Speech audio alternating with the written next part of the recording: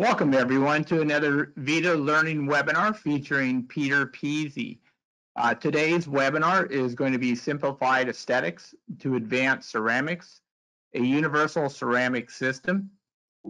Peter has done wonderful webinars in the past. We have a, a six-week series uh, online that you can access and review.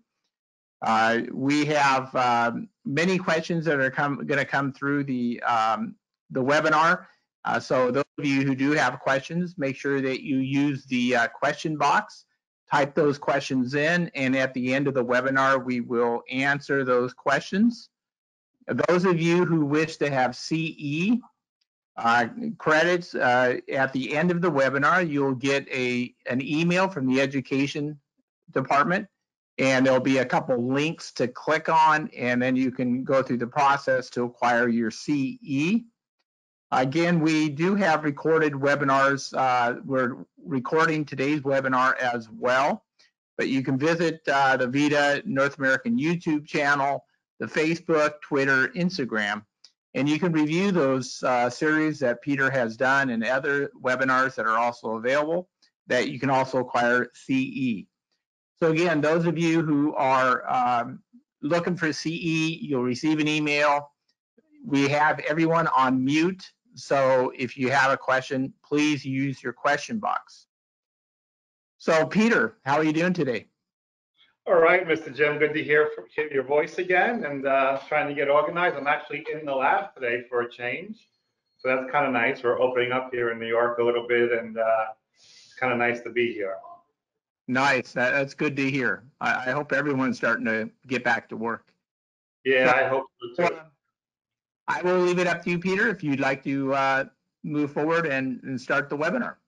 Sure, sounds great. Thanks, Jim. So welcome everybody and uh, nice to have some people out there. I appreciate you guys attending. So today's goal is really to talk about simplified aesthetics and to advanced ceramics. And I want to kind of break that down for you a little bit. For me, whenever I start talking about ceramics in general, I really like to talk about it from a space point of view. And why this is important is because we're, we're used to hearing about the coloration of the ceramic or the amount of translucency in it. And those are all very important points for us. But even more so for me, it's really about space. What ceramic works best in the space that we're provided? And I think all of you would kind of raise your hand and say, I'm not getting enough space. Or sometimes I might have too much space when I'm working on a Pontic. I know a few of you saying, no, no, no, we never have too much.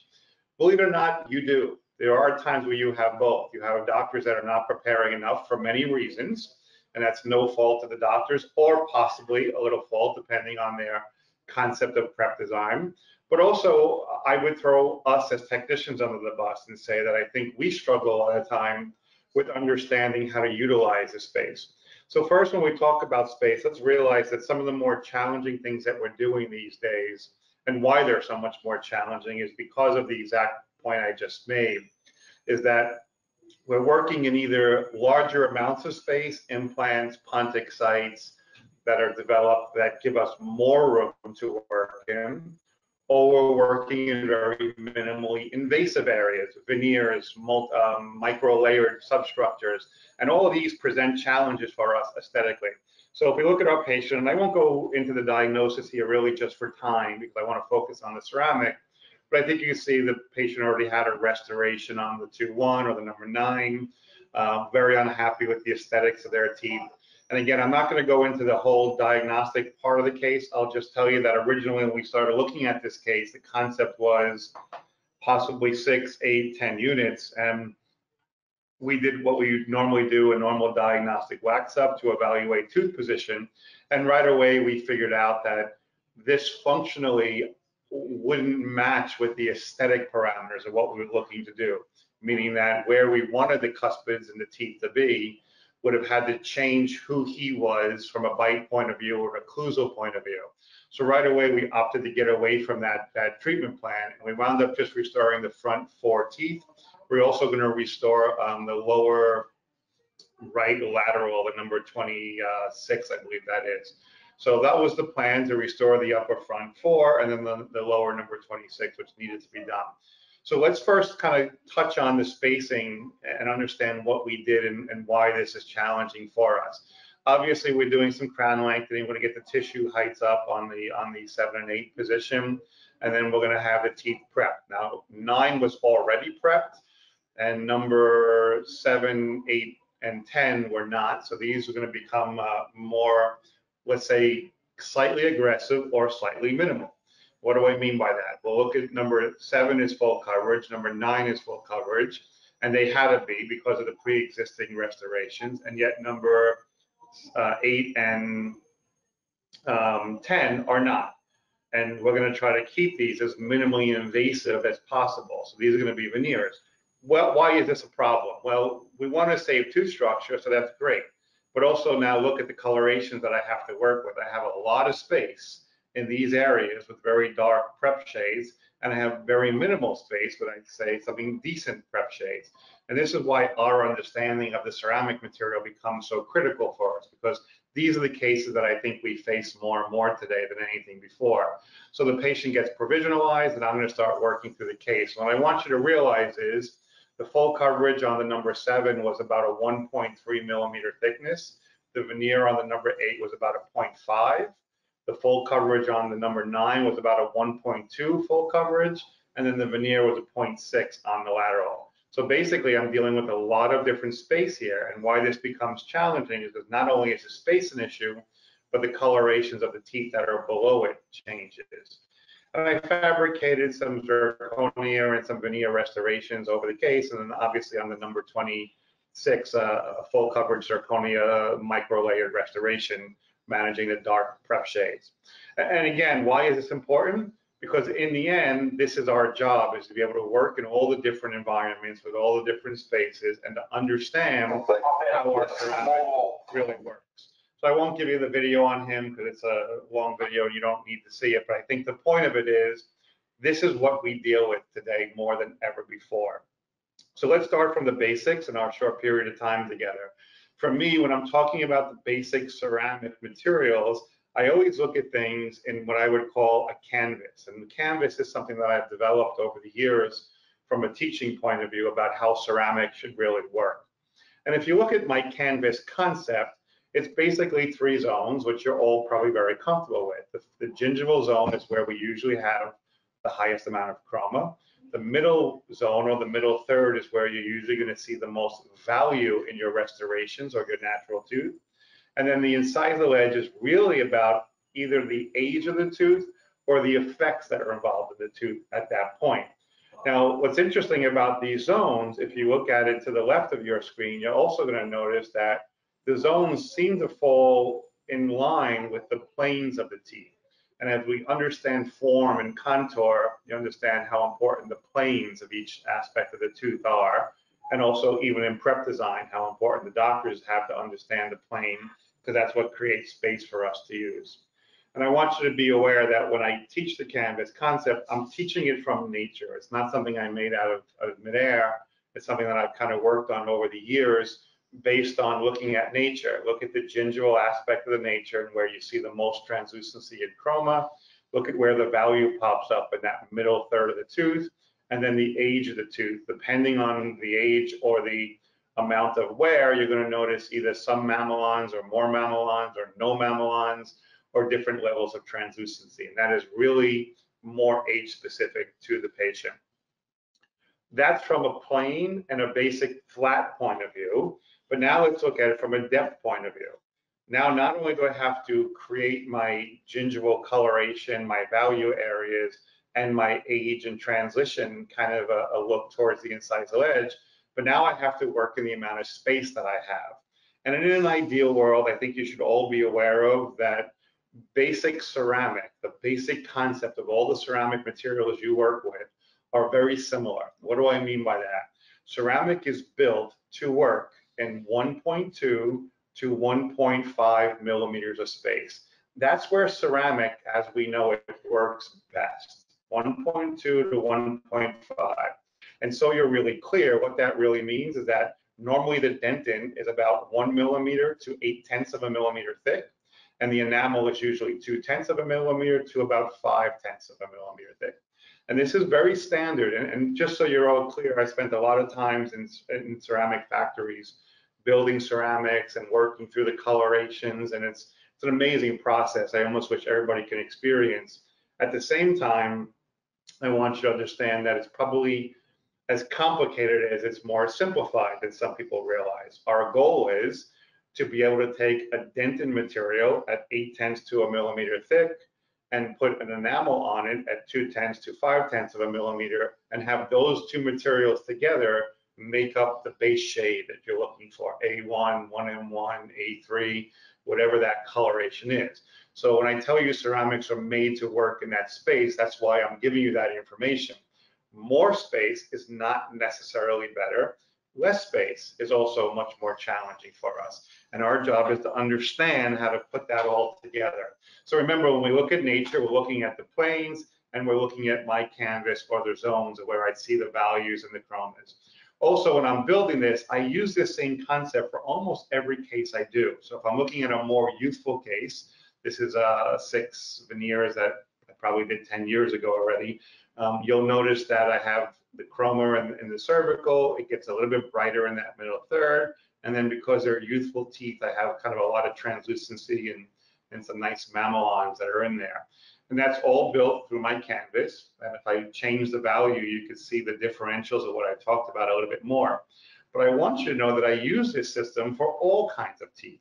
So if you look to the left of your screen now, I have a very similar case built up, canvas concept again. The only difference is this is a much older looking tooth. So what did I really change? The density of the translucency, the density of the middle third value, and definitely the incisal edge, where you don't have that crazy amount of translucency, you have more secondary dentin and warmer feel of a color. So even though these two restorations look fairly different, they're built very similar. The only thing that I'm really manipulating is which powder choices I'm using to give me either more density, more opacity, or more translucency. And that's why I kind of like to break down the ceramic systems for you a little bit so you have a better understanding of that. So first, let's be clear. When I talk about ceramics to me, everything is about optics, right? I know people tend to always be, always, always push the strength factors. And if you've taken any of my web series or you've heard me speak before, I'm not going to say I'm anti-strength. I'm just not for megapascal being 9 billion megapascals and thinking that makes our restoration better. What really makes your restoration better is choosing the right material for the right environment and understanding the optics of that material. And when I talk about optics, I'm not only talking about the ceramic material's aesthetic look, but I'm also talking about how the ceramic materials can manipulate light into the surrounding gingival architecture. Because part of what we need to do is not only manage the ceramic layering, but also manage how the light is transformed, just like nature would do for us. So let's kind of go backwards a little bit more and break the ceramic materials down to start with. For me, I look at ceramics kind of like a chess game. And I've always joked that I'm not a very good chess player. Um, and, and I hope some of you are. Maybe you could give me some lessons one day. But I do appreciate the game. And I do appreciate the fact that each of these pieces that you're looking at have very specific roles they play. And some of those roles are much more useful than others, and some of them are kind of wasteful, right? So you can argue as a novice chess player that the pawn is really just something that helps set you up in position. It's expendable, you don't use it all the time, but you use it just to help you get from spot to spot. Whereas if I go to a rook or a bishop or one of the other aspects, each of them have moves they can make that are more valuable because of the distance that they can travel. And obviously, women, you always win. And the queen is going to be the most valuable piece in the chess game for me. And I feel that way in life, and I feel that way in chess or, or with ceramics. Why? Most about most ability to do the most in the least amount meaning that the, the queen has the ability to travel all over the board. They can make she can make any move she wants she has the ability to be the, the most um, aggressive or the ability to be the most soft and sit back. And if I correlate this to ceramics, which is really where I'm going, For me, I look at my canvas as a chessboard, and all the pieces on it are my ceramic players. And it's my job to understand which one of them have the most value, which one have the most capacity, which one can play the game the best for me, because they're not all the same. They're not all pawns. As an example, the queen of most of our systems are usually in the fluorescent materials, the flowdentins or the margin materials or the liner materials. Why? Because they work so much more aggressively in reflecting or absorbing or manipulating light. Whereas a simple base dentin or a simple translucent material only has one ability to do something. So I'm looking for the players that can give me the most, the most impact. And to do that, I study nature to do that. So let me explain to you that whenever I put a substructure or a restoration on a tooth, what I'm creating is a shadowing effect over the actual tooth itself. And the only way to stop that is by taking away the substructure, be it zirconia, lithium disilicate, or even metal ceramics, and allow more of the light into the tooth, or to use substructures that have more ability to manipulate and push the light in different directions. So I think where technology has helped us today, and I know this is really about ceramics, I don't want to take this into a technology world, but I want you to understand that I, where I'm feeling excited about the directions we're going is that the technology is starting to help us to be better in these areas. Let me give you some examples. If I take a milled ceramic material, this is a pure feldspathic material, a material that I've been very high on for the last few years, and I can't tell you how what a wonderful material it is. I just finished up a, a six unit veneer case uh, with Mark II. And if you notice the Mark II feldspathic material on the natural tooth, and after I've cleaned it and colorized it and glazed it, look what I'm looking at from a light transmission point of view on that same nat natural tooth. That to me is wonderful, and that's one of the advantages of feldspathic ceramics. If I go into the lithium silicates or disilicates, Suprinity is a silicate material. You'll notice that I've milled out my silicate material and you look at it on a natural tooth and you can see the light transmission optically is pretty great. That's important to me to be able to see that. Very similar with the new Ambria material, which is a lithium disilicate.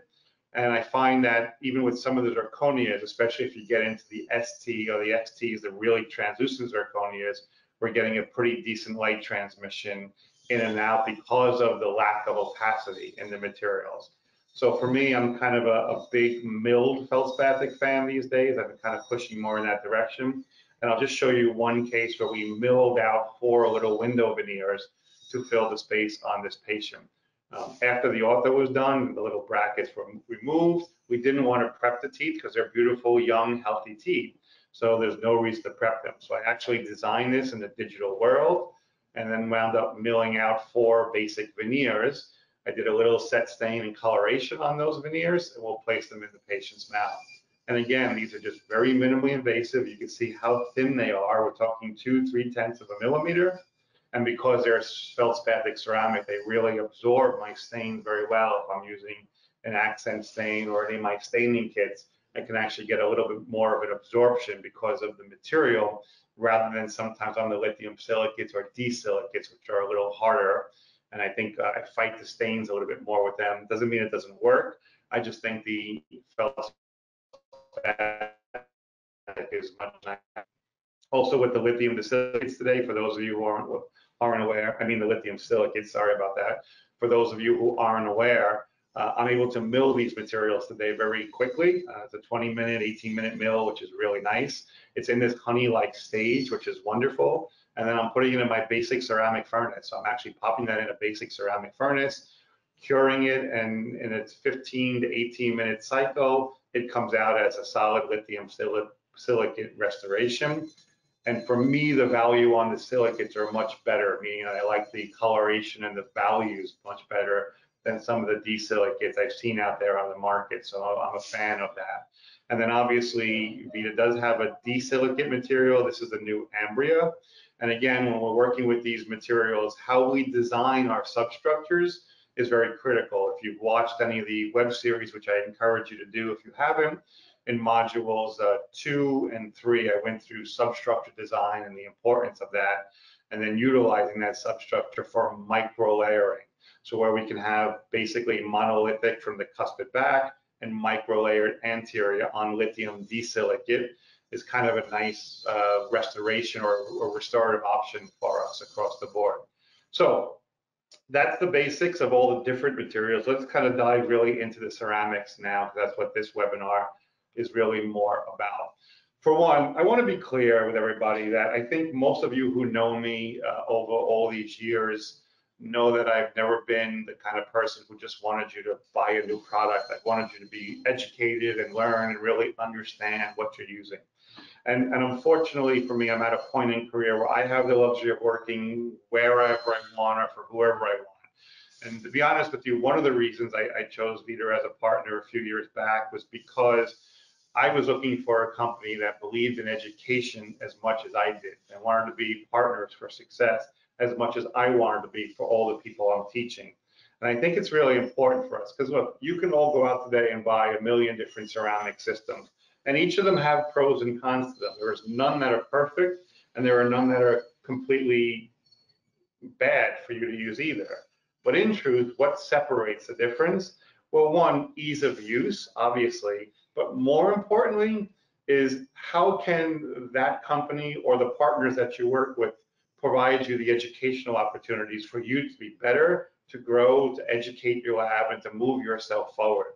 And for me, that's where I kind of found my partnership these last few years is really understanding that I want to work with companies who want to support the laboratories that I work with. And what I want for you as the laboratories that I'm working with is I want you to be NEO. Now, what is NEO? Well, for those of you who've seen me before, know that I'm, I'm, a fan of the old, I'm showing my age, the Matrix movie. And in the Matrix movie, Neo, who was the main character. Why I think this is important for you is what do I want you to be that? Because without sounding cocky, I feel like I'm Neo today. I feel like I have the ability to look through materials and figure out how to work through them in almost a slow motion process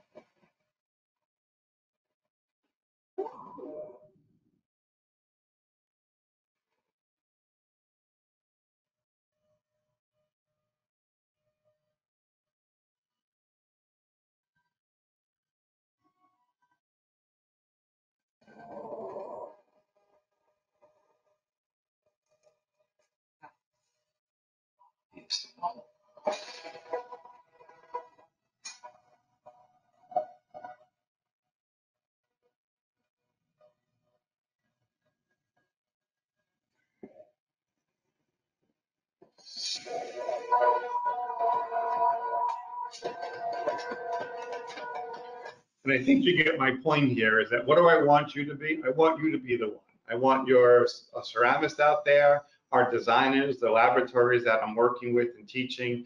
I want you to be able to look at your materials like Neo. And what does Neo do? He sees things in a bigger version.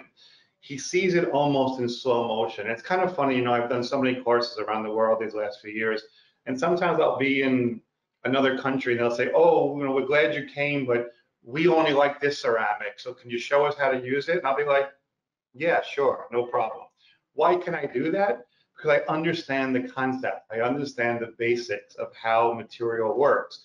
And that's what I want you to be able to do. I want you to really understand. So whatever kit you use, obviously I want to help you. For me, I've stayed more in the Vita family these last few years, and I hopefully plan on staying there for a long time. And, and I worked my way through VM13 and VM9 and VM11, and now I'm working my way through a new system called Vita Lumex. I'm going to break that down for you a little bit more. Remember, the goal of this is that the ceramics were built to work in the 1.2 and the 1.5 range. How that works with the light is different. When I'm working in 1.2 to 1.5, and I have a tooth behind it, or a substructure behind it, the light reflective ability, optical ability, refracting ability is different than when I'm working in an area that has nothing behind it. That means it changes the property of the ceramics. And I have to be much more in tune with how to work through the opacities of the materials and the translucencies of the materials. And when I'm doing that, especially on veneer type cases, this is one of my first Lumex cases, by the way, when I'm, when I'm working through this with veneers a very thin amount, this was a no prep veneer, by the way. So the tooth wasn't even prepped and I had to work in two tenths of a millimeter facially and then add only about a millimeter of incisal and try to make that work. And to do that, I really have to have a really good understanding of the materials. So as I explained to you before, the materials work based on the three premises, either opacity from underneath, which is either opaque or liner material or substructure material or prep shade. I'm should, I should add that in, I'm sorry.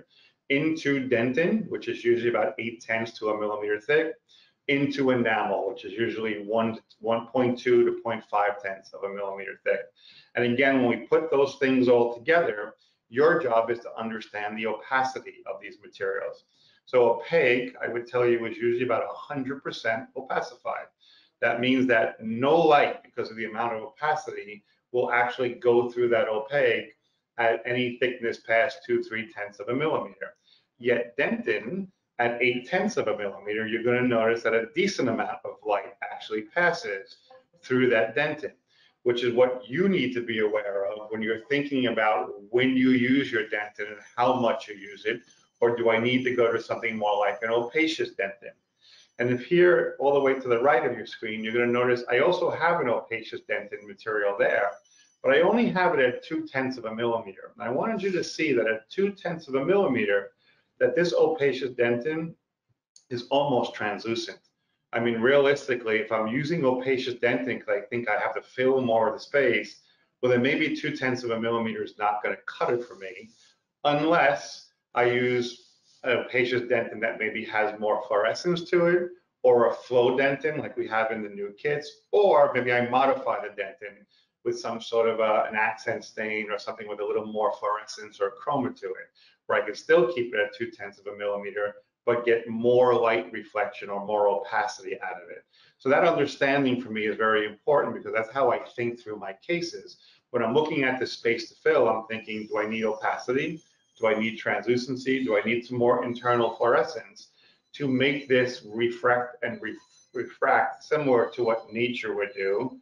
Because I know at just eight tenths of a millimeter, a lot of light is going to pass through my average dentin material. And that's not going to be enough for me to really get the understanding that I want. So that's one part of the challenge. The next part of the challenge is how you fire your restorations. So now that we're starting to get a little bit of an understanding of the opacity of the material and how important it is, I'm going to tell you how you fire the restoration is just as important. And what do I mean by that? I think if I gave you the options of, of driving this car or driving this car, I'm pretty sure I know which one you'd pick. At least I know which one I would pick. And I would be honest and tell you that the difference in this car isn't just the aesthetic, it's also the engine. It's also how it performs around the turns and how the engine revs and how fast it can go and how it handles during stops as compared to the engine in this car. And even from a um, a scientific point of view, I can tell you there's a lot more that goes into the design of this than that goes into this. Well, why do I tell you that? Because it's very similar to your furnaces. I think when I when I'm in laboratories and I have people asking me to teach them how to make more depth and more of this, and then I watch them put their ceramic into this automobile or a furnace that's in the same ballpark, I say, you know, you're not getting it because the importance of that firing is very critical to how the ceramic looks at the end. So very quick explanation I'll give you. And, and I want to be clear, this is actually funny kind of a story, but it's true. When I first went out to Germany to, to talk to Vita and decide if I was going to work with them and they wanted to work with me, one of the first things I said to the owner was, I'm a Dekema guy. I really only use Dekema furnaces. I spend time in their factory and I can tell you that the temperature is accurate to about three degrees. That means at any point during my firing cycle, my temperature, if it's supposed to be 900, it's only going to be 897 or 903. It's always going to stay in that range. And I need that accuracy. And one of the scientists there kind of looked at me and laughed and he said, come see me later. And I said, okay, sure. Well, long story short, most of the lower end cars or lower end furnaces that you use tend to have what we call a 20 degree swing. What does that mean? At a 900 degree cycle, you're going to notice that if you really were able to monitor it, you could go down to as much as 880 or 920. And that's a huge difference in the maturity and the clarity and the functionality of the edges of your ceramic.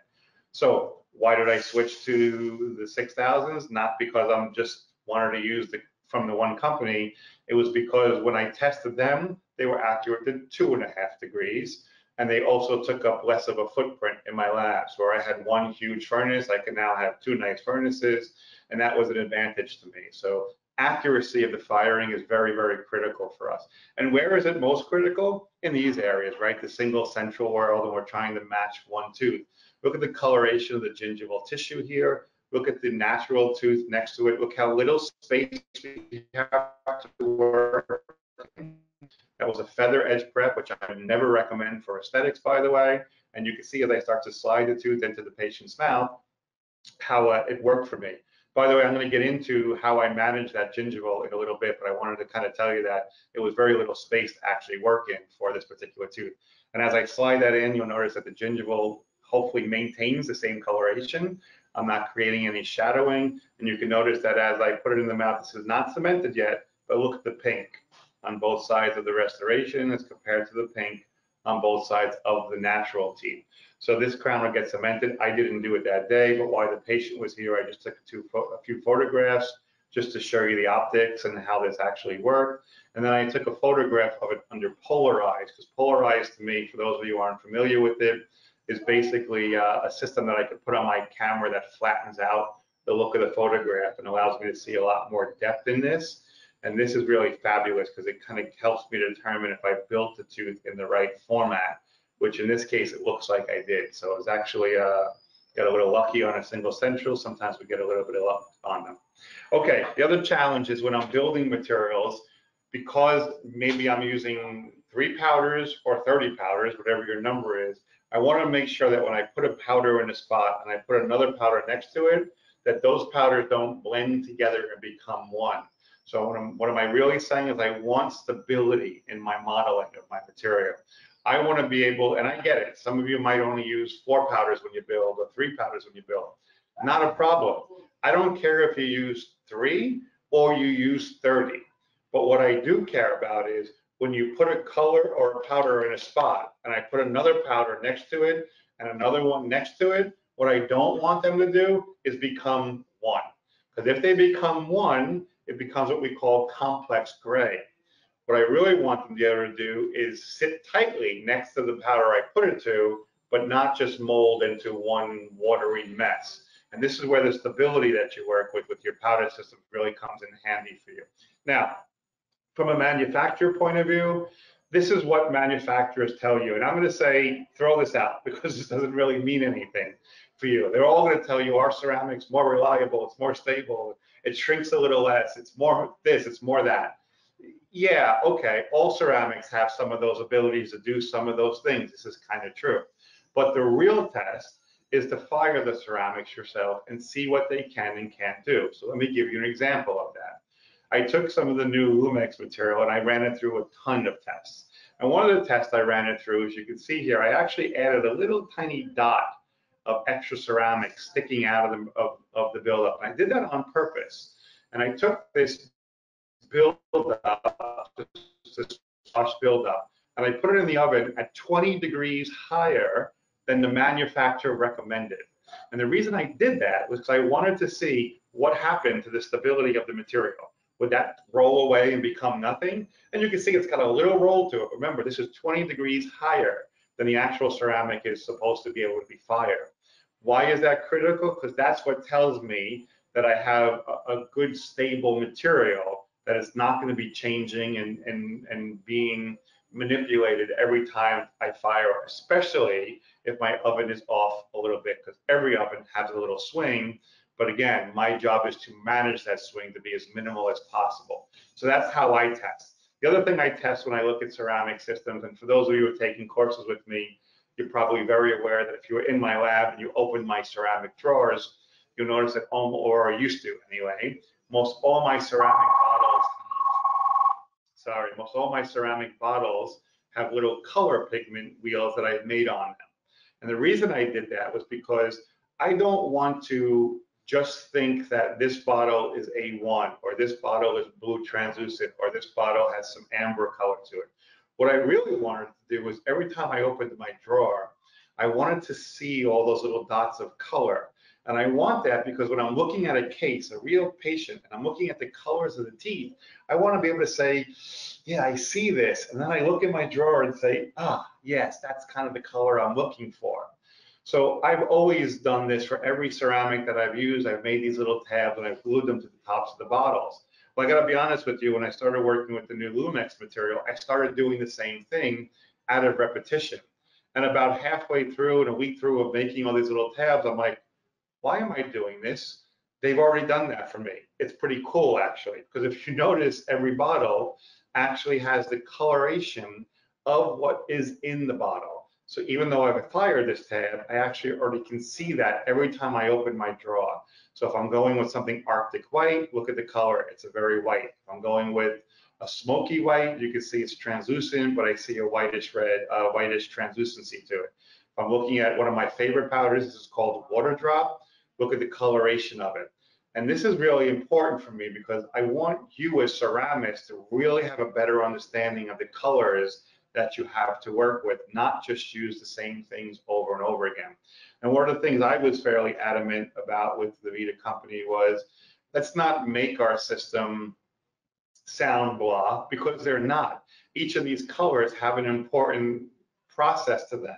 So a water drop should have that bluish water droppy effect, where the Arctic white should have that cold and white push of value to it. And each of the colors that we kind of went through we colorize them to really fit to what we see in nature, what we see in dentistry today.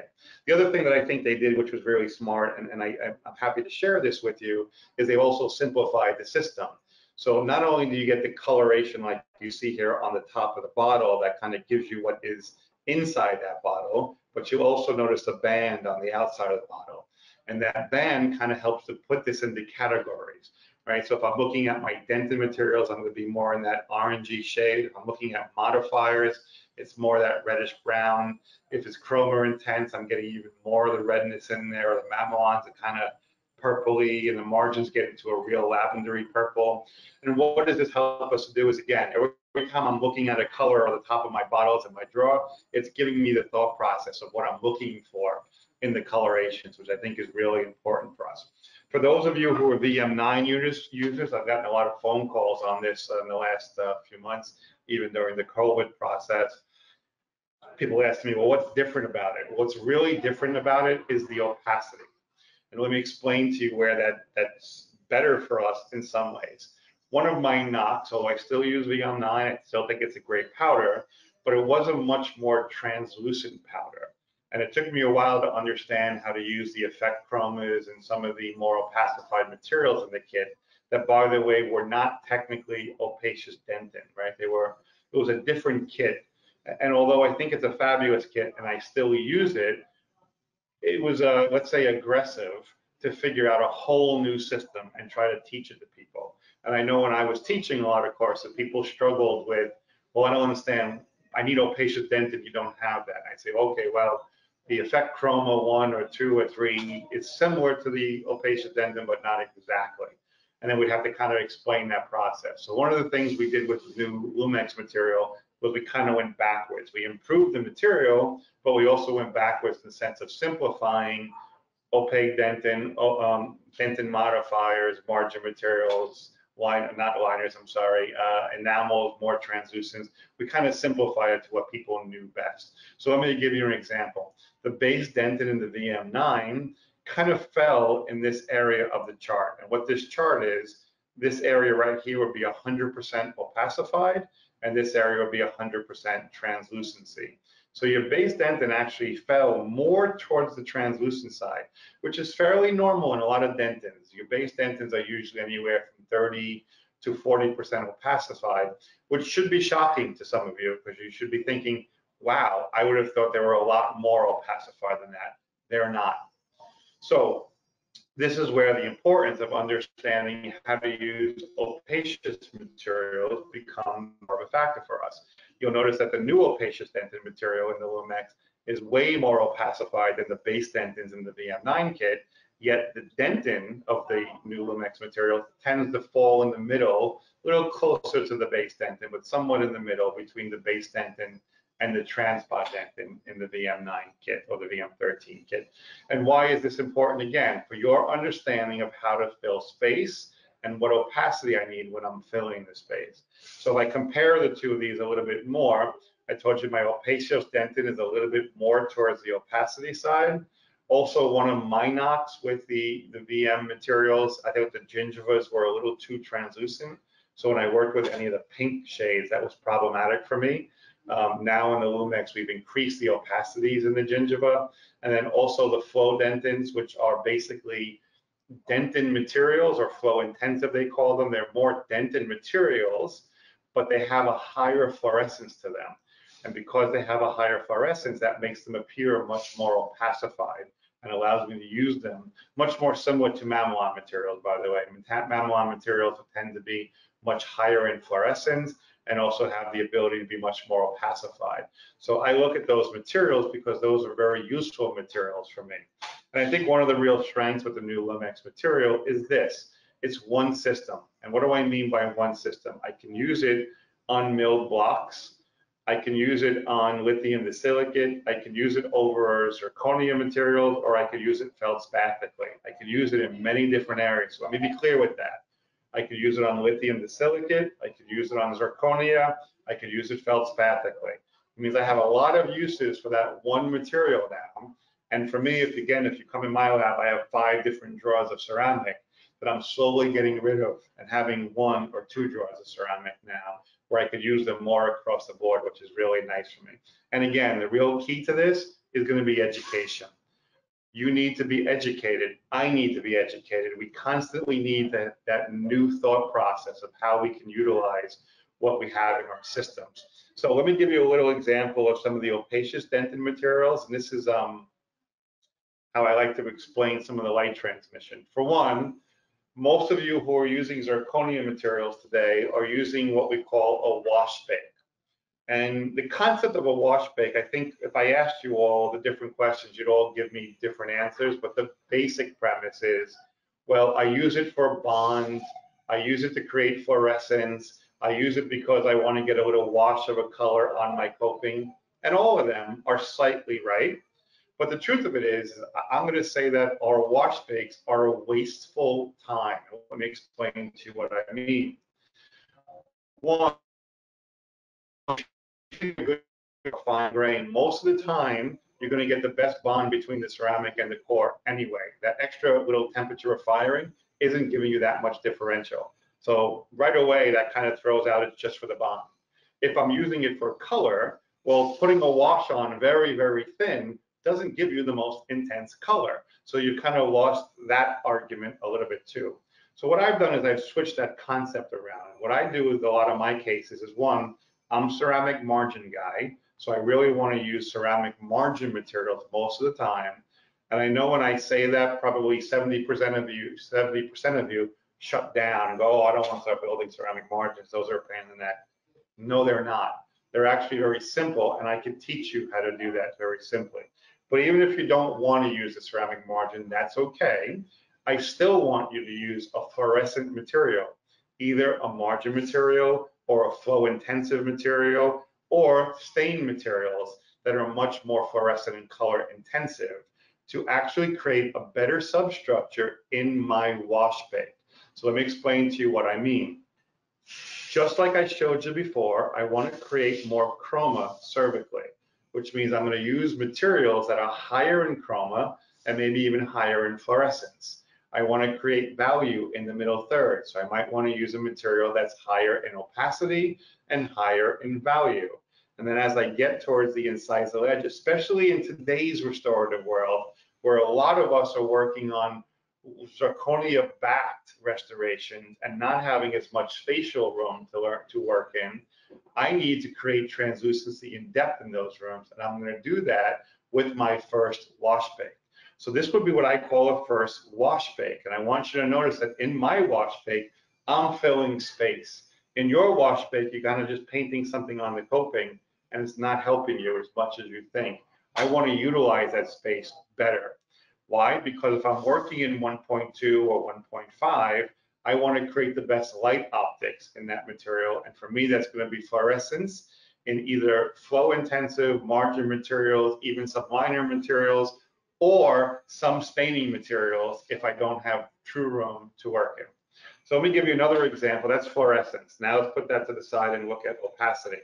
Another example that I'm going to give you is the doctor has asked you to make two, two restorations, eight and nine, and he, he or she asks for them as A1 restorations. Okay, A1 sounds great. I take the A1 powder, I take the enamel, the light that goes with that, I put those two together, and I make an A1 restoration. In theory, fine. But in truth, you won't have a perfect A1 unless the coloration of the prep shade is perfect or the substructure is perfect. The space that you use was exactly 8 tenths to a millimeter thick, and the enamel was exactly 1.2 to 0.5. And if you have those perfect, you'll get a pretty close A1. Will it look amazing? No, it'll look like a classic A1 shade guide. And if that's what you want the work to look like, okay. For me, it's not acceptable. I want more. I want it to look like nature. I want it to look better. So here's what I'm going to do to build an A1. And for those of you who are two or three powder builders, don't get confused. I'm going to add in a few more powders, but I'm only going to add in either flow intensive materials or opacity materials. In this case, I'm going to use the example with opacious dentins and watch what I do. So my first part of the build up for my A1 crown is going to be some A4 opacious dentin. Yes, A1 crown, A4 opacious dentin. And I'm going to use that interproximally and cervically. Why? Because I want to increase the chroma in those areas, and I don't want to use a lot of thickness to do that. The next powder I'm going to use is a B1 opacious dentin. I know I said A1, confusing you guys, right? But why am I going to use that? Because I want to raise the value in these areas and up and down the line angle, so I have a little bit more bounce of light. And then for those of you who know me, I'm kind of anti the C and D shades.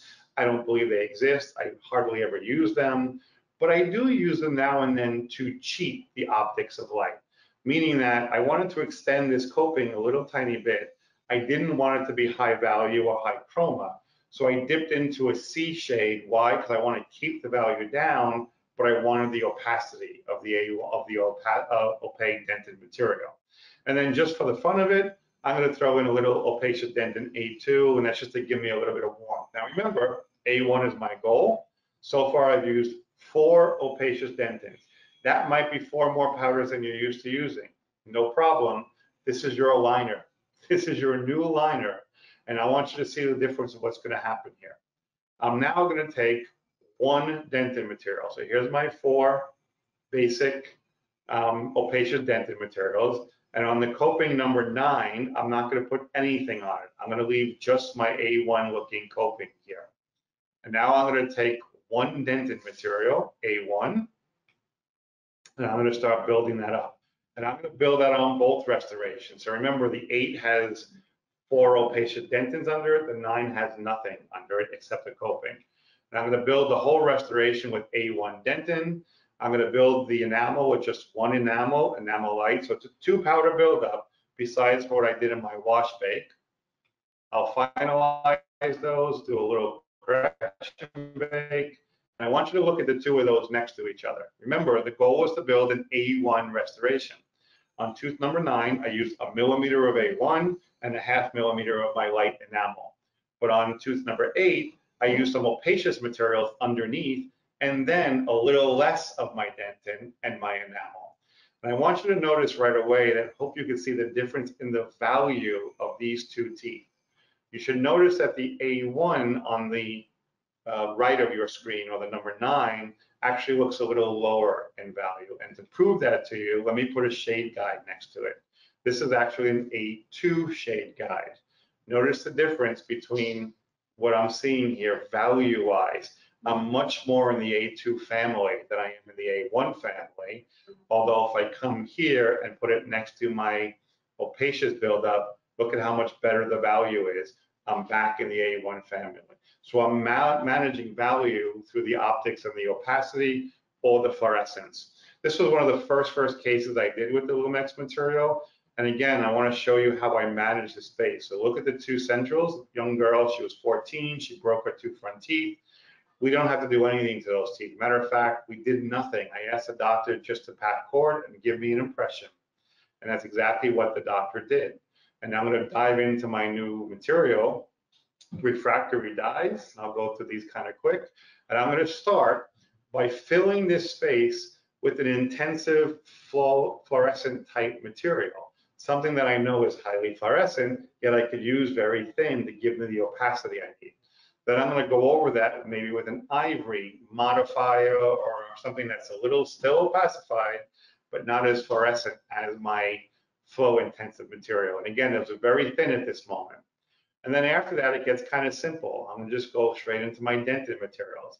I used a little A2 dentin. I used my favorite water drop. And she didn't really have much of a mamelon, so I just kind of covered that with some enamels. And there was my final two veneers that I, I finished up for. And you can see these seat right over the patient's natural teeth. And we're gonna look at them on their own. So you can see where the opacity is, where the translucency is, and where the translucency is, it's gonna bond to the natural tooth. This way I, I'm not, I don't need the opacity to be everywhere. I just needed it to be in some areas to create the depth and the right light reflection that I need. And when the doctor bonded these in, this is Dr. Mike here in Staten Island, um, you notice he's just gonna polish those little areas away and we'll get a pretty great light transmission, just like she had in the natural teeth. And those will be fine. I didn't need 8 billion megapascals to make that work. I just needed an optical understanding. Okay, I'm going to try to move this a little quicker now. So that was working at it as a feldspathic. I can also put this material on zirconium material. And I won't give you all the details again just for time here. We prepped out the case. It's going to be bridge work. So I'm going to make this in two separate bridges. And you'll notice that I've designed that in the Amann Girrbach system, which is what I use for my designing. This is a lingual zirconia, so I'm really just layering on the facial at this point. And again, I went through the exact same things that I just talked about. I used a margin material cervically and created my canvas with some more blue around my lingual wall of zirconia. And then I micro layered my material in a very white bright, which is what the patient wanted. And you can see here on insert that she looks pretty comfortable and happy. The tissue is still healing a little bit, but it looks like it's going to be fine. And yes, those are two bridges that are in the patient's mouth, even though they hopefully look somewhat singular at this point. And that was over zirconia materials. Also, I can use this same Lumex material over lithium disilicate, as I said to you before. And again, I won't go through all the details of every case because I think this is a piece manager. I was really just today talking about the material so you'll notice that I, I layered facially, again, zirconia lingual, uh, lithium silicate lingual, micro layered facial, and a before and after of our patient over lithium disilicate materials. Okay, same process over and over again. And I'll show you the last case. I think we're just about on time here. I'll show you our last case back to a feldspathic case. I still do a lot of feldspathic, but I also do lithium silicates and disilicates. I'm also milling some of my veneers now. And I still think layering a veneer is kind of the ultimate for me. And I would argue is the ultimate for your business protocol, because if you have that ability to deliver the highest end restoration, then you have the ability to charge the most for that restoration. And I think that's where understanding the layering concept really works best for us. So again, I won't walk you through all the case complexities because that's probably just for other days and other lectures. But at this moment, we're going to take all our base shades we're going to provisionalize the patient. She came in because of an aesthetic uh, unhappiness with what she had. She wanted to close the spaces and manage the colorations a little bit more. Again, I went back to a refractory veneer case. So this is my alveolar cast that I used for almost all my refractory veneer cases. By the way, one of the beauties that I should tell you of um, milling some of these feldspathic veneers, I know it sounds crazy for those guys who know me and think, you're a feldspathic veneer guy. I'm loving milling. Now listen, it's not for every case. I got to be honest with you. That's your job or my job to help you with to know what cases it's right for or what cases it's not right for. But in certain cases, when it is right, that ability to move to mill a feldspathic veneer and still have that pure ceramic restoration, I think is fabulous. This particular case, I needed to do a lot more, and because of the spacing, it wasn't a great case for a milled veneer. So uh, also the prep shades didn't allow for me to have a lot of space to work in. So I started this case off very similar to all the rest. I went with my flow dentin materials or my flow intensive to increase the value and extend the tip of the incisal edge of the restorations. And that was the flow Arctic White flow intensive, maybe a little B1 opacious dentin in some areas. And then I started with my A2 dentin around the cervical. I shift that to an A1 dentin in the middle. And to be honest with you, I didn't really use an A1 dentin, even though I'm saying that. I actually used uh, an OM2. And the only reason I'm telling you that is because the OM2 wasn't in the kit at the time. I happen to have a lot of the powders before most people get them. So I was using an OM2 to boost that value more than the A1, but I could have used a B1 or something higher in value to push that value up there a little bit. And then I'm going to break into my mamelon materials and my, my water drop around the incisal edges, very similar to all the canvases that I use over and over again. I used one or two different mamelon materials, and sometimes I might even use one or two of the intensive materials. And what is the goal with that?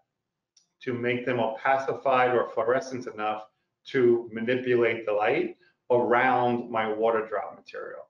And I'm zooming in on this because I really want you to see all those little details of how the light is working to make that happen. And then I'm going to cover that with some enamels, and I'm going to use a different group of enamels. I might use two, three different enamels. Sometimes I want a whiter enamel, sometimes I want a little more translucency. That's really dependent on what you're looking for in the final result. I'll finish up the restorations and we'll place those intraoral. Now what I'd like you to see here is as we're placing them intraoral, and by the way, this is only on insertion. I never got after photos of this patient, but look how nice. Look at the coloration of the tissue on its own. And look at the coloration of the tissue as we slide that veneer up in there. I can't tell you guys enough that you really want to improve the aesthetics in your laboratory. I could teach you how to put more blues and more chromas and more value. That's easy. But also you have to understand how to manage the pink and the space because that's what really starts to separate your restorations from the lab that's just selling the monolithic, quick, fast, 900 megapascal restoration. So I want you to have the ability to really see what I call the face, the white, and the pink. That's a big part of our restorations today. So here she is on insertion. You can see the patient still numb and I'm sure we'll get some nice fill in here um, on the papillas as she heals up a little bit more. Um, I put this in right before Chicago this year, and then obviously uh, we shut down for COVID, so I haven't got to get any final finals on her after that. But you can see she's a happy camper, even nice and numb. I'll also recommend uh, for a few of you, if you're interested or your doctors, I just finished up a book with a bunch of other authors that is strictly on veneers. I wrote one of the chapters, and one or two of my doctors wrote others, and Galip Gürel and Brian Lesage all wrote beautiful chapters in there. So if you want to get a chance, you can look for that book or, or maybe recommend it to some of your doctors. So with that said, um, I'll say thank you to kind of spending some time with me. I have nowhere to go. If you have questions and you want to um, ask, I'll be glad to answer anything I can for you. And uh, I'm in the lab, so if you want a little tour of the lab, I'll give you that too while we're here. But uh, thank you guys for for coming to spend some time with me today. And I hope I hope you got some insight into ceramic materials. All right, thank you, Peter, very much. Uh, that was wonderful news and and very helpful information on what you've provided everyone. Uh, we're going to get to some questions, but just a reminder for everyone, if your question is about CE credits, you get a uh, an email uh, sent to your uh, email uh, address, and there'll be a link for you to click on so that you can achieve some CE credits, one hour credit. You can also revisit this uh, webinar. It has been recorded. We'll post as soon as possible. You can uh, view that on the VITA North American YouTube, Facebook, Twitter, or Instagram accounts. So let's uh, get some uh, questions uh, through. We have one. Jim, just so you know, if get any questions about getting a haircut, tell them we're not answering that question. I need one. I, I, so do I, brother. well, Elizabeth Elizabeth is asking, how do you keep stability when uh, condensing, uh, or are you condensing on that material? So, so the answer is no, I'm not condensing. And, and, and I don't want to say, Elizabeth, you might be showing our age because I grew up in the condensing world too. Um, the concept of condensing really had a lot more to do with the particle sizes of ceramic, was getting them closer together. Today we're in a much finer grain ceramic world, and those finer grains really join well on their own. By the way, that's one of the reasons that we talk about the material shrinkage, right? Because when you have smaller particle sizes of sand that are closer together to start with, it's harder for them to shrink more than they are. When you have chunkier ceramics and bigger blocks and bigger pieces of sand, and you put them together and you fire them, that's where you get a lot more shrinkage out of the material. So I do not condense. And just so you know, I build extremely wet. I, I, I am a very wet, wet builder. I like everything wet. At the same time, I have a lot of control because of the fact that I, I'm using a small brush and I'm, I'm really controlling my placements and I don't want to condense them because the minute I start condensing them, I'm going to start creating a complex gray out of my material. All right, uh, William, I'll paraphrase his question. Uh, do you use uh, paste or powder glaze? And do you have any issue with uh, the glaze peeling away uh, over Lumex? So um, I use a little of both, to be honest with you. Um, I don't want to go into a long diatribe here of, of glaze materials, but I'm going to tell you that the concept of these paste fluorescent grade glaze materials really came about because of monolithic materials. If you understand surface luster of a tooth, you'd understand that the only time I really, really want to use the, these, these fluorescent glaze pastes is on monolithics. Now, with that said, it doesn't mean I don't use them on my ceramics, but after I use them, which is more as a sealant or a filler of any microporosity I miss, I'm rubber wheeling that and polishing it. And the simple answer is no, I haven't seen any peeling on them but I, I do treat differently. I'm not looking for the shiny, shiny marble. I'm looking for a surface that I create at the end, and that's usually after glazing by polishing. All right. Uh, Devin has a question on the Lumex. Have you used it on a refractory material and for veneers? And if so, what's the uh, type of refractory do you use? So the answer is, of course, all the, those two cases I showed you are both refractory. I'm a big refractory guy, old school. I'm kicking it old school. Um, the refractory that I'd say universally works best with all the ceramics that I've worked with, or most of them, is from uh, GC, and it's the Orbit Vest. Orbit Vest GC is kind of our standard. We use that on almost every ceramic we've tested over the years, and I'm going to tell you that it works on about 90% of the ceramics out there today. All right, then Dylan has a question. What model and die system do you use for refractory? So we're using what we call an alveolar model. It's a, uh, a variation or an improvement on the, the original Geller cast. It's a little complicated. I'm pretty sure that, uh, I don't remember which module it is, Jim. It might be module four in the series that I actually had a bunch of slides and I broke down and showed you how we make the model. I'll be honest to tell you, it's a complex model, but once you use them on refractory, you're going to start to say, wow, this is really worth having because it gives you a whole different development of understanding emergence profile. But it is a complex model to make. Yeah, and, and just a reminder for everyone, all those recordings, including what just Peter had mentioned, his uh, six-week series that covers a, a vast uh, number of topics uh, can can be found on the Vita North American uh, website as well as the Vita North America YouTube channel, the Facebook channel, Twitter, and Instagram through um, through Vita North America. Yeah, if you guys haven't watched that whole series, I would suggest it's six hours of your life. I know it's a lot right now, but um, especially because we're all getting back in a groove. But I think it's a good series. I'm, I'm proud of the series. Like we really broke everything down one one session at a time. I don't know if it'll be on this channel forever, so get out there and watch it while you can. Yeah, it was an excellent series. So, uh, like Peter, I concur. Um, go to the site, look at them. Uh, there's a lot of information, a lot of detail, a lot of uh, technicians, uh, uh, technical explanation on, on many subjects. Um, Peter, is it uh, have you used any platinum foil with uh, with your technique? Say, say that again. Do I use platinum foil? Yeah, for your veneers, have you used the platinum foil technique? So I have to be very honest with tell you, I suck at platinum foil. I'm really not that good at it. I've worked with a lot of great friends of mine who are great at it. And they've shown me it's not my strength. Um, do we do them sometimes? Yes, of course we do. Certain cases, it will, it's easier just to foil. The flaw for me with foiling, besides the fact that it's not my strength, is that you do lose some of the gingival emergence. I have to kind of carve away a little of that tissue on the cast, which is why I really stuck to the uh, the, the uh, alveolar type model. But but here's where I think I'm going to put a plug back into like a Mark II material.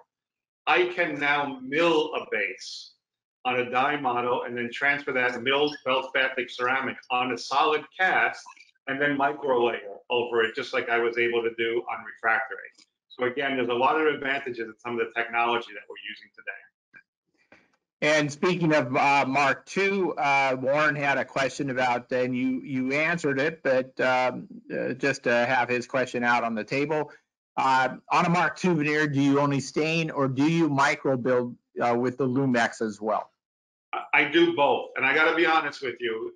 Again, for those of you who know me, the, the, you, I was the guy who was anti staining glaze veneers. And by the way, I still kind of feel that way with lithium silicates and disilicates, right? But not feldspathic. If I can make a two tenths of a millimeter feldspathic, what would I layer on? It's only two tenths of a millimeter to start with, so staining glaze is fine and then polished. But if I have a normal space veneer and I have good supporting from the prep itself, then I can mill this out at two, three tenths of a millimeter, which is now my base dentin material and then build all the same effects and and translucency. And by the way, I could even do some of that in my design, right? I can actually make my mamelons come out a little bit more off of that milled material, and then I can stain that, set stain that, and then just put enamels over that. And boy, night and day difference between that and what I would call a, a lithium silicate veneer. Uh, Roger has a follow-up about your and shoulder margin technique. Uh, is it possible for you to quickly go through that again? Um, sure. So I don't know if I have it in this lecture per se, but let me see if I, I'll just pull up one of the slides. So Roger, I mean, here's the simplicity of it for me. So I'm just going to pop this up on the screen for a second. So look, the concept of understanding light dynamics is really about getting light in and out of the tooth as much as it is about supporting the gingival tissue. PFM ceramic, if I still, and I still do a lot of PFM, I'm going to tell you that all my PFM in my laboratory is 360 degree ceramic margin. Why? Because I don't want metal shadowing the tooth. What I found over the years, especially when I first started working with zirconia, is even the more translucent zirconias still create a shadow because they're optically not the greatest material for light reflection. So if I look back at some of my zirconia cases that I didn't put ceramic margins on, I don't think they look as natural as the ones that I did. Now, if I'm doing a, a, a zirconia lingual, then all I'm going to do is cut back the facial aspect like I'm showing here. And now I'm either going to use my margin material or I could even use a liner material. And here's where it's kind of cool for us, Roger. I could use the liner materials from the VM9 kit, which fire much higher, and I could actually build up my whole marginal material, very highly fluorescent, and I could use a few different ones of them, like I'm showing here, to do all the work that I want to do. And by the way, this is not a four-hour buildup. This is a, a wash bake buildup, right? I, I float around my margin, I vibrate it, I hit it with a hair dryer, and then I put on the rest of those little materials. I remove it and put it in on my cycle of either my margin material or my liner material. When that comes out, this is what you see. And now when you go to build your dentins and your other materials, you've already taken up some of the space and now your dentin layer is, is a much more of a micro build. So you're putting a little bit more in the beginning, but getting a much better, result at the end because of it. All right. So Alan has a, um, a question as well. So it may be, uh, let me kind of paraphrase it as well. How do you do the cutback on a veneer or an anterior crown to allow space for overlayering on the milled restoration? Maybe do you, do you do the design, cut it back into design, or do you use an instrument to cut it after it's milled? Um, you, Yeah, so I, I got your question. The answer is both. Um, depending on how much space I have in the design, you know, here's one of the amazing things, and, and God, Jim, I hate sounding like such a homer sometimes, Your but I have to be cutback. honest with you.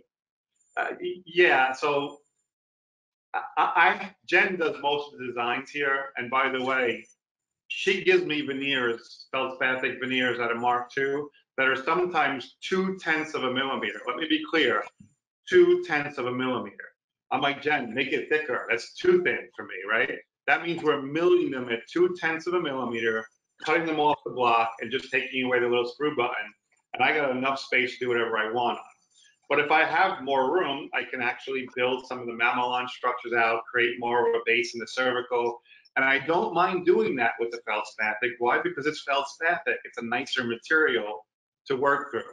If for some reason we were just copying a scan, we were in a rush and I copied a scan that had, you know, full form, I could also cut it back freely by hand. Why? Because it's ceramic, it's feldspathic.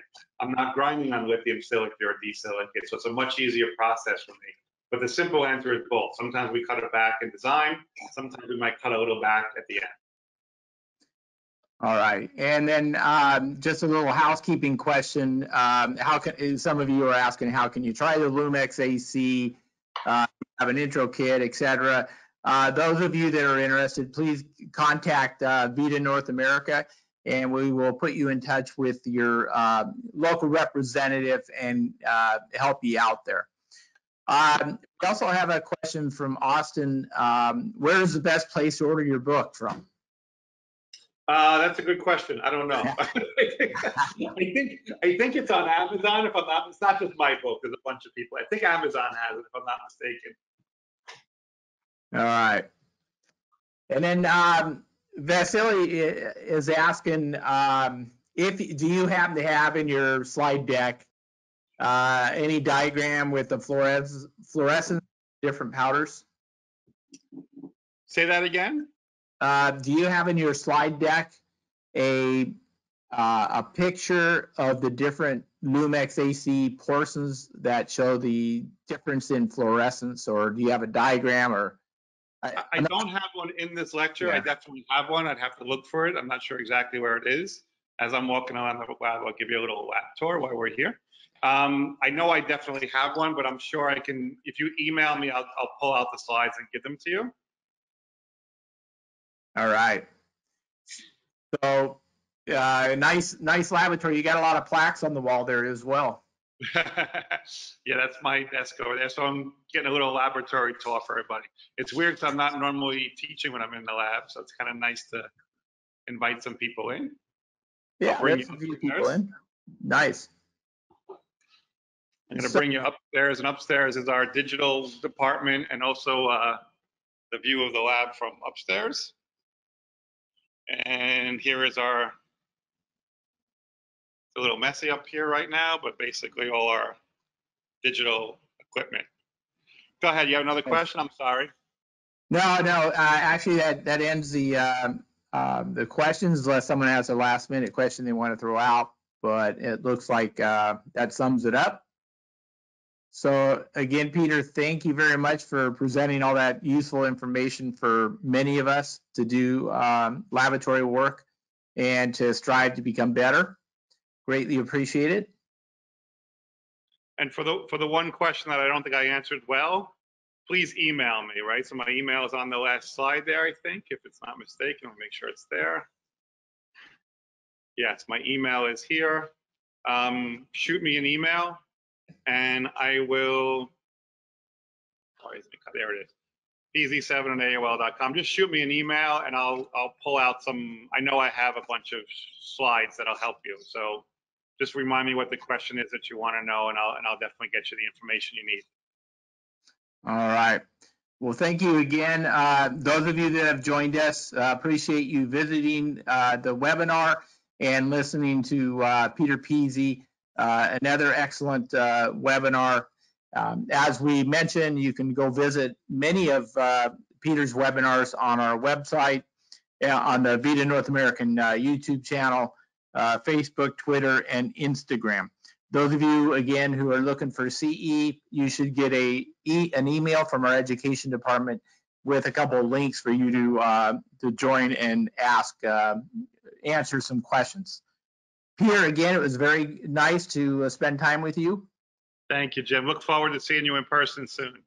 Yes, uh, hopefully so. So this will uh, conclude the uh, Vita Learning webinar featuring Peter Pizzi. Thank you. Take care, everybody. Thank you, Jim.